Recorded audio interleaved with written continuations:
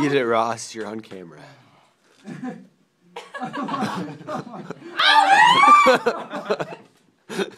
apple good? I like to eat your apple. And my white stuff? See if you can eat that white stuff off here. He'll eat it. Yep.